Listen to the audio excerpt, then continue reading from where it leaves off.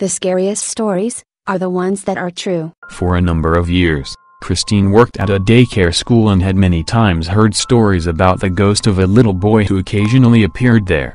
For example, when a number of children were waiting outside for their parents to pick them up, he would stand among them, confusing the staff as to how many children were actually there.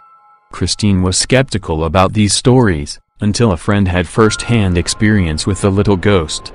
On this particular night, Christine a friend and her husband were at the school helping to set up the kindergarten for the new school year.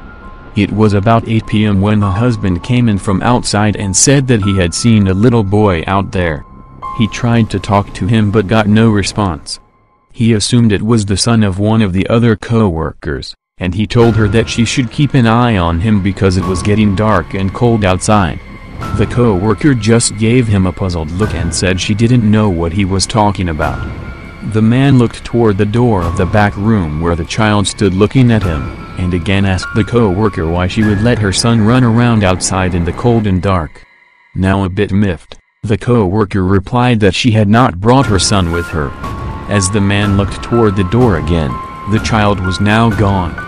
Sometime later, an alarm system with video surveillance was installed in the school. One day the director called in some of the co-workers to tell them they had something on tape, Christine says. They had actually caught footage of the nursery door open very slowly. Then close, without anyone being there. The time of the recording was 3 a.m. and the alarm never went off.